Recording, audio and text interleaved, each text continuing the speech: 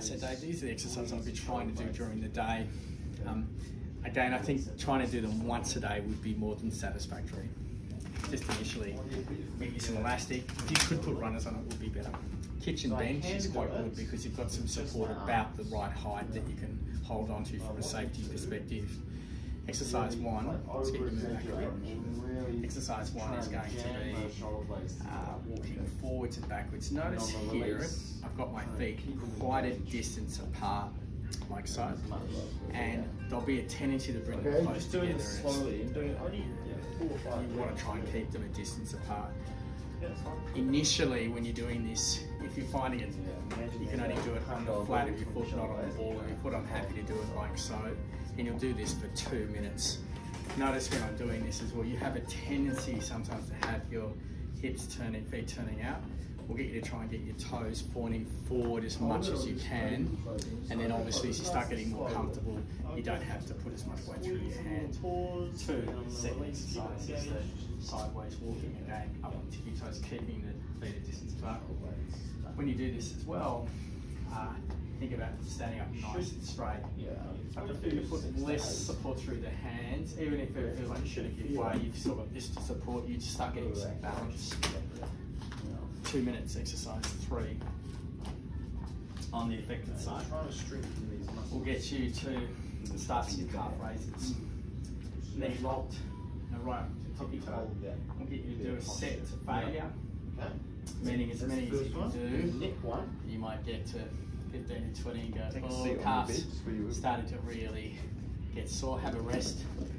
Do a little stretch just of the calf muscle for a couple of minutes and repeat that a second Another tool that you time. might need to ah. get from the. I Third exercise will get you to start doing some balance. Perfect. And the balance exercise, you have a rest from that.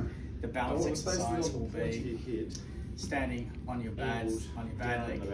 You've got this just with your hip to give yourself a little bit of hard you pull, I support. you to Arms straight out can front. Lock, yeah. And now we're putting all the weight through this one and we can start just to start getting a little bit of uh, balance, but we've got this for support. So my chin's tucked As we get better, we can start moving like so. But notice when I'm doing this from side on, my back stays quite arched rather than perhaps come around here. Don't, don't when you're standing on the one leg, getting balance, just make sure if we are in this position, we're wanting to start doing a little bit of bending. It's bending a little bit of bending from the hip, not bending from the back. It'll hurt your back. And it's just starting to use the glute, slight bending So yeah, situation. And I'm just using this just for that initial support. I'd go through and do 50 repetitions. Second balance exercise, standing again on your bad side and using your good leg to tap around a clock face, 12 o'clock, 3 o'clock and 6 o'clock to start getting used to putting a bit of more weight through this while swinging the other leg. And we'll do 50 repetitions, one, two, three, four. Uh, the next exercise will be a simple one where I would advise you, you can buy these from Decathlon. I'll deliver them for $5, some weight. The advantage of this is start getting some quad strength and pretty simple.